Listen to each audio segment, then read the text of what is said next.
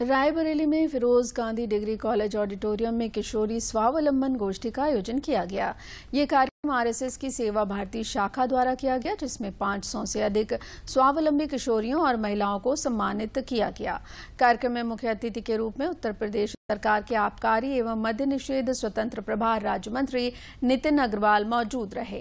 कार्यक्रम का उद्देश्य बालिकाओं के स्वावलंबन को और अधिक प्रोत्साहित करना है, जिससे इन्हें देखकर समाज की अन्य बालिकाएँ भी विभिन्न क्षेत्रों में अपनी प्रतिभा को उजागर कर सके। मुख्य अतिथि श्री अग्रवाल ने कहा कि आबकारी विभाग में सिंडिकेट को तोड़ने के बाद ओवर रेटिंग की शिकायतें जिन जिन जिलों में आई थी, वहाँ जाँच कराकर संलिप्त अधिकारियों पर कठोर कार्रवाई की गई है। उन्होंने कहा कि प्रदेश सरकार भ्रष्टाचारियों पर कठोर कार्रवाई कर रही है।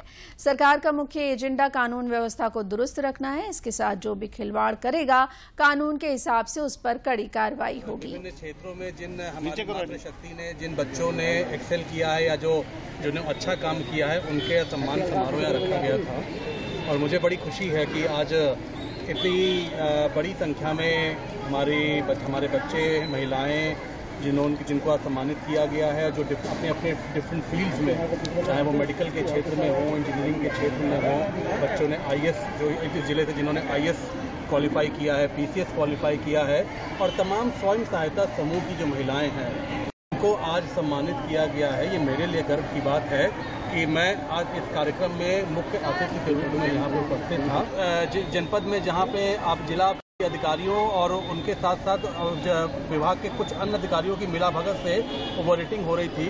वो सस्पेंड किए गए और उनके विरुद्ध कड़ी कार्रवाई विभाग ने करी।